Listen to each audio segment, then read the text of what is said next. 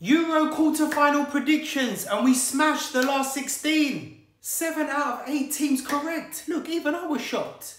The Austria game, man, if it wasn't for that Mert in the last minute with that save, it could have been 8 out of 8.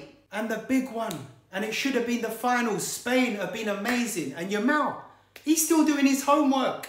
Shame the teams have not been doing their homework on him. He's been cooking. So have Germany, been great. But I see Spain winning this 2 1. And listen, block your calendar for Friday. Portugal and France, the second game. And if Mbappe turns up, it could be curtains. But like Ronaldo won't give up on free kicks, I don't think Portugal are going to give up here.